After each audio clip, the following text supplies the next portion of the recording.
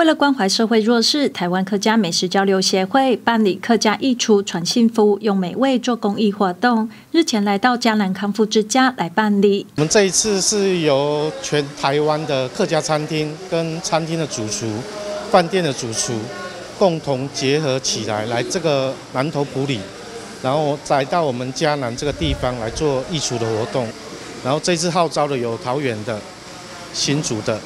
台中的。南投的、云林的、彰化的，及我们屏东的，还有我们高雄的，那我们一一起志同道合来这里做艺术。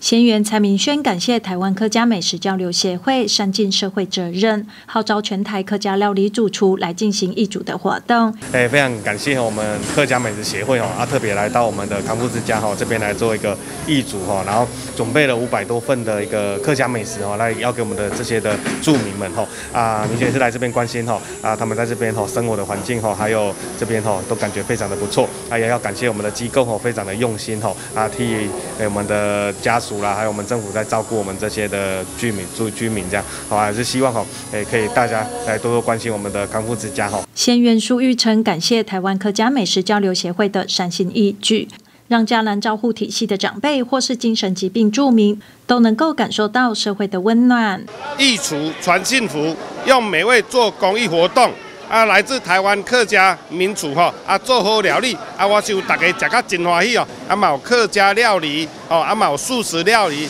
啊真正展现吼，啊那来关心弱势、扶助弱势，啊感谢协会的帮助。先元林芳宇感谢台湾客家美食交流协会能够发挥爱心，关怀社会弱势族群，让嘉兰体系的长辈及精神照护之家的院生都能够享用美味的料理。啊，也感谢他们，呃，能够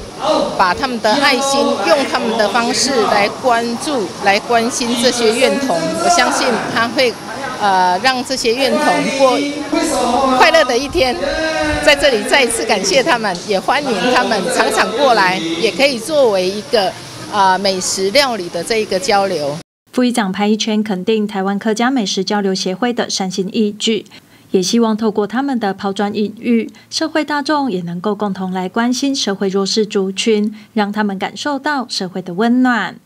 记者陈唯一普利珍采访报道。